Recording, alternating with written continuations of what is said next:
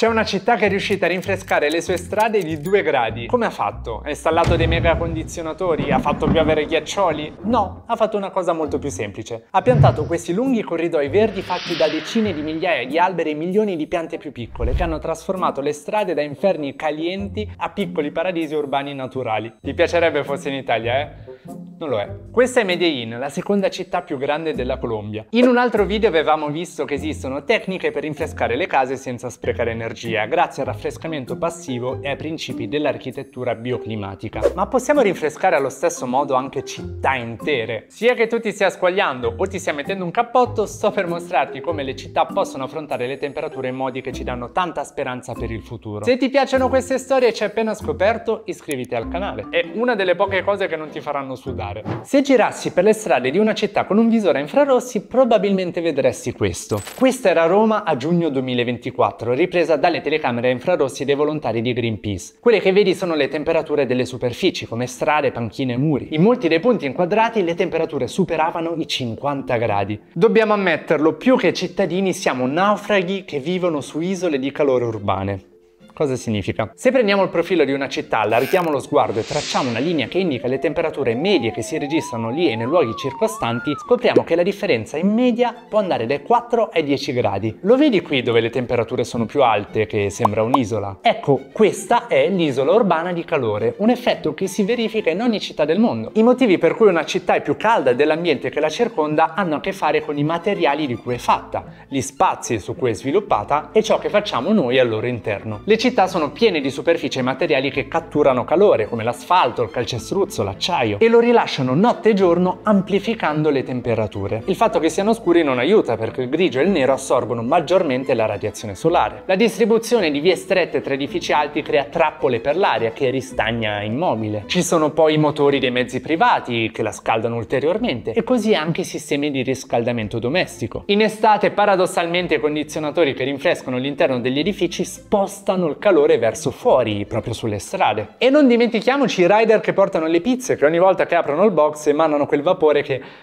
Ok, questo probabilmente non è influente, ma ho un po' di fame. Essere un naufrago su un'isola di calore non è facile. In città più calde i rischi per la salute si moltiplicano. Il caldo eccessivo è una minaccia gigante per le persone. Nel solo 2022 ha mietuto più di 61.000 vittime in Europa, con l'Italia tristemente al primo posto di questa classifica. Secondo le stime dell'Unione Europea il calore estremo potrebbe causare fino a 96.000 vittime ogni anno se non saremo capaci di arrestare l'aumento delle temperature medie globali. Non lo diresti mai, ma tra alluvione, tempeste violente e altri eventi estremi è proprio il caldo a essere il più letale. Il caldo è quindi il nemico numero uno per chi vive in città e lo sappiamo particolarmente bene qui nel sud dell'Europa. Pensa che Siviglia, la capitale della rovente Andalusia, è stata la prima città a iniziare a dare un nome alle ondate di calore, come si fa con gli uragani negli Stati Uniti, proprio per identificare per tempo l'arrivo di questo fenomeno e tentare di prepararsi in qualche modo. Ma come possiamo proteggerci dal caldo in città? Guarda queste fotografie delle temperature di alcune città europee tra l'estate del 2022 e quella del 2023. Roma, Atene, Vienna, Praga, Parigi. Vedi quelle macchie verdi e blu? Sono i punti in cui le temperature sono più basse. E ma cosa c'è in quei punti di così particolare? Quelli sono i punti in cui è stata inserita una tecnologia incredibile, quasi magica. Si chiama vegetazione. Non so se l'hai mai sentita. Funziona così. Gli alberi più alti nelle strade creano ombra che impedisce alla luce solare di colpire la pavimentazione e le altre superfici che altrimenti tratterrebbero quel calore. Con la traspirazione le piante rilasciano acqua nella forma di vapore che trasporta trasporta in modo circolare il caldo verso l'alto. La presenza di parchi che mantengono il suolo umido e di corpi idrici come stagni e laghetti permette poi all'aria di scambiare calore con l'acqua. Il risultato è incredibile. Guarda queste due viste a confronto presentate in uno studio del 2022 di Barcellona, Lipsia e Trento. In tutti e tre i casi, in corrispondenza delle aree coperte dalla vegetazione, la temperatura registrata è molto più bassa. Capito?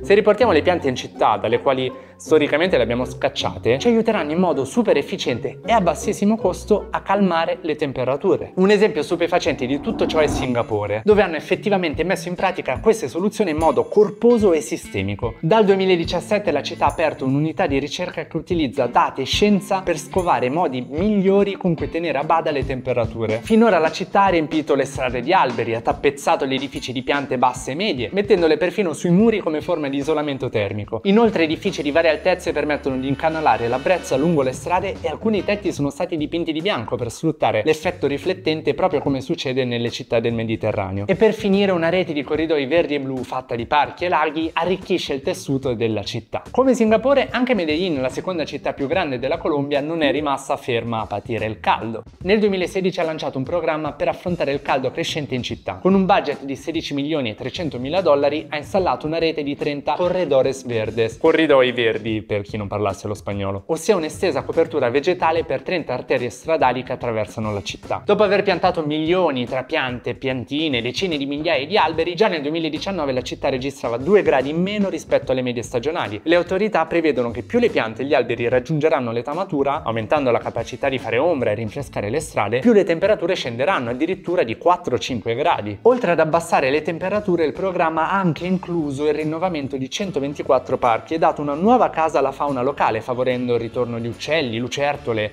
anfibi, piccoli mammiferi che contrastano le specie più infestanti. Ha inoltre offerto quasi un centinaio di posti di lavoro a cittadini in difficoltà, coinvolti direttamente nella manutenzione di tutto questo verde, il che è fantastico. Sfruttare gli alberi per creare ombra e umidità nell'aria è sicuramente la strategia più adottata dalle città europee che stanno prendendo precauzioni contro le ondate di calore. Vienna per esempio ha messo in campo nel 2018 un piano urbano simile a quello di Medellin, con una fitta opera di piantumazione di migliaia di alberi ogni anno e muri verdi sugli edifici che fanno da isolamento termico per l'interno delle mura, rinfrescando nel frattempo l'area esterna grazie alla traspirazione. Sì, perché ogni superficie può ospitare una soluzione al caldo. I tetti ad esempio. A Rotterdam è famoso il Dakkaker, un tetto verde di quasi un chilometro quadrato che ospita una vera fattoria di frutta e verdura, con addirittura le api e gli alveari. Pensa che la città olandese nel 2021 aveva addirittura 46 ettari di tetti verdi. Anche la città svizzera di Basilea vanta una grandiosa copertura di tetti verdi. Nel 2019 si contavano 5,7 metri quadri per abitante. Ci sono esperimenti con il verde sulle pensiline dei bus oppure con questi tendoni testati a Valladolid, particolarmente cool.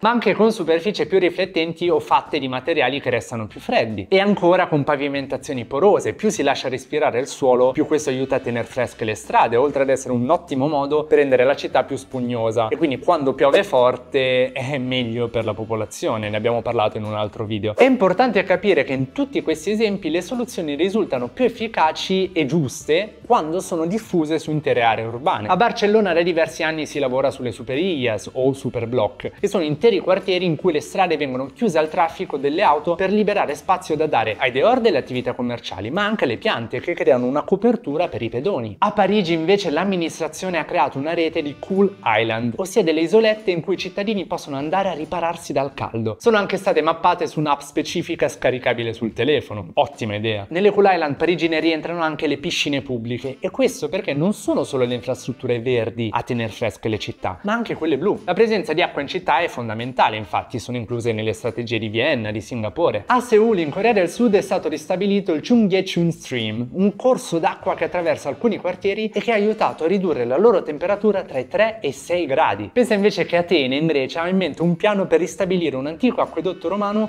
e far così viaggiare sottoterra l'acqua per usarla come una sorta di serpentina del frigorifero. Geniale! Attenzione, proteggerci dal caldo delle città non è un capriccio. L'effetto di temperature sempre più alte è una minaccia enorme alla vita di tutti noi che le abitiamo, soprattutto dei più vulnerabili come anziani e bambini. Secondo questo recente studio richiesto dalla Commissione europea, aumentare del 30% la copertura arborea nelle nostre città potrebbe ridurre del 40% la mortalità legata alle ondate di calore e permetterebbe di ridurre ancora di più la necessità di raffreddare le singole case consumando energia e la spesa sanitaria pubblica per l'inquinamento. Caldo Caldo e inquinamento infatti sono due problemi che il verde e il blu cittadino affrontano in un colpo solo. Il progetto dei corridoi verdi di Medellin non a caso nasce innanzitutto in risposta ad una preoccupazione sempre più grande dei cittadini riguardo all'aria che era diventata irrespirabile per lo smog. Medellin infatti si trova nella valle d'Aburrà, la cui conformazione geografica imbottiglia l'inquinamento atmosferico e rende molto difficile la dispersione delle particelle dannose. Perché mi ricorda qualcosa?